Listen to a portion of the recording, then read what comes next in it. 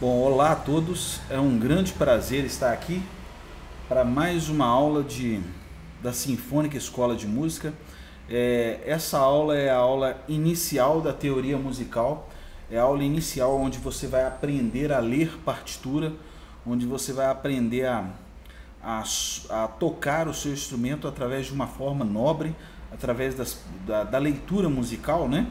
E e aprender sobre tempo, sobre compasso, né, nomenclatura musical, tudo que é usado dentro da música, né, uh, que, é, que é composto aí das, dos, dos três, das três formas de conhecimento uh, uh, musical ou de, de explicação que os humanos conseguiram ter sobre conhecimento musical, que é a melodia, a harmonia e o ritmo, né? Tudo isso a gente vai ver na, na, no, no, ensino, no ensino musical, na leitura musical, tá bom? Então nós vamos começar aqui ó, com a clave de Sol, tá? A clave de Sol, ela, ela ganha esse símbolo aqui, né? Tá vendo? É um S ao contrário aí, né? Então esse é o símbolo, a notação da clave de Sol, tá? É... Existem mais duas outras claves tá? Para a gente poder ler a pauta ou pentagrama. A pauta ou pentagrama é esse conjunto aqui, ó, onde você está vendo que tem cinco linhas e essas cinco linhas geram entre entre as linhas quatro espaços. Você pode ver aqui, ó, que tem uma linha aqui, duas aqui, três, quatro e cinco. Essas cinco linhas, entre elas, no meio, acaba gerando quatro espaços. Aqui a gente tem um espaço, aqui a gente tem outro e a gente tem outro e outro, né? Então, a, a pauta ou pentagrama, que é esse conjunto de cinco linhas e quatro espaços usados para escrever a música, né? Ela, ela é chamada de, de pauta ou pentagrama, né? E, e existem três, três tipos de clave, né? Ou seja, três tipos de notação e de leitura.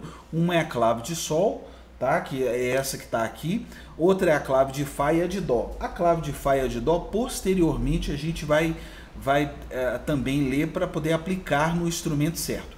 A clave de Sol ela é usada para sons de instrumentos agudos. Exemplo, violão, guitarra, contrabaixo, é, violão, guitarra, uh, saxofone, tá bom? Violino, tudo isso aí lê clave de sol. Todos os instrumentos que produ produzem sons agudos leem clave de sol, né? A clave de Fá, que é, é, a outra que não está aqui, né?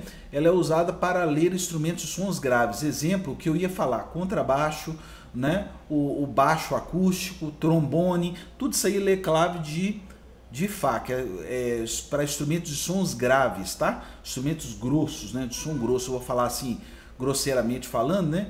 É, mas o, o, certo é falar grave. E, e, a clave de Dó que é usada para sons medianos, ou seja, sons que são intermediários, que não estão, que não são nem muito agudos e que não são nem muito graves. Então a gente lê clave de, de Dó. Exemplo, a viola de orquestra é um tipo, né? Alguns tipos de flauta, tá bom? Então a gente a gente vai começar com a clave de Sol. A clave de Sol ela, ela assina-se Sol, ou seja, ela é Sol a partir da segunda linha, tá bom? A partir da segunda linha você consegue identificar que ela, que ela é Sol, tá bom? Uh, e também, obviamente, pelo, né, pelos, pelos, pelos, é, é, pelos iniciantes aí, pelo próprio símbolo, né? Mas é, a assinatura dela é o Sol a partir da segunda linha, tá bom? Então a gente tem aqui, ó, o, a primeira linha é Mi, a segunda é Sol, a terceira é Si, a quarta linha é Ré e a quinta linha é Fá. Aí nós temos os espaços, porque são cinco linhas e essas cinco linhas geram quatro espaços.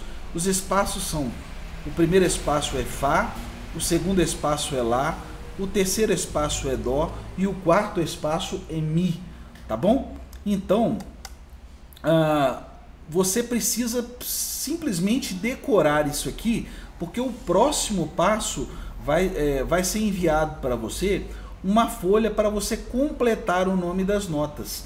Então você vai ter que olhar, por exemplo, se aparecer lá uma nota, se aparecer essa anotação aqui, você vai escrever Mi lá. Se aparecer ela, ela aqui, ó, na terceira linha, você vai escrever si. Se aparecer ela aqui no segundo espaço aqui, ó, no terceiro espaço, é dó, né? Quando eu falo terceiro espaço, é contado de baixo para cima. Quando eu falo segunda linha, é contado de baixo para cima. Primeira, segunda, terceira, quarta, quinta. Primeiro espaço, segundo, terceiro e quarto, tá bom? Então, ó, procure decorar nome das notas das linhas, mi, sol, si, ré, fá. Nome dos, das notas do espaços, dos espaços, né? Fá, lá, dó, mi. No, nome das notas das linhas, mi, sol, si, ré, fá. Nome das notas dos, dos espaços, fá, dó, mi. Tá bom? Então, aí a gente tem aí a, a notação do, do início aí da clave de sol. Depois existem as notas que são suplementares superiores, que atravessam a, a pauta para cima, e os suplementares, suplementares inferiores, que atravessam a pauta ou pentagrama para baixo. Mas isso aí a gente vai ver depois. Então, nome das notas das linhas, Mi, Sol, Si, Ré, Fá. Nome dos espaços, Lá, Dó, Mi. Tá bom? Então aguarde o, o, segundo, o segundo vídeo aí, né? com, com um exercício para você completar o nome das notas. Tá bom? Um grande abraço, tudo de bom, tchau!